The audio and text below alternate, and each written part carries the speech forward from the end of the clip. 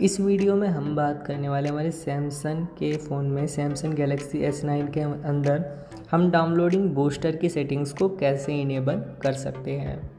तो अगर आप जानना चाहते हैं तो वीडियो को आप पूरा ज़रूर देखिएगा।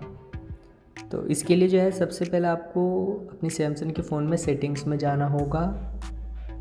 सेटिंग्स में जाने के बाद यहाँ पर आपको मिलती होगी कनेक्शन सेटिंग्स सबसे ऊपर।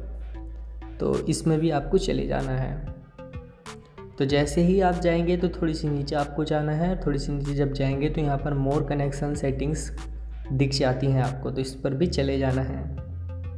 तो जैसे ही आप जाएँगे तो यहाँ पर आपको दिखाई देगा डाउनलोड बूस्टर तो डाउनलोड बूस्टर हमारा ऑफ़ है, लेकिन हम इसको इनेबल करना चाहें तो ईज़िली इसको इनेबल कर सकते हैं अपना सिम डाल के।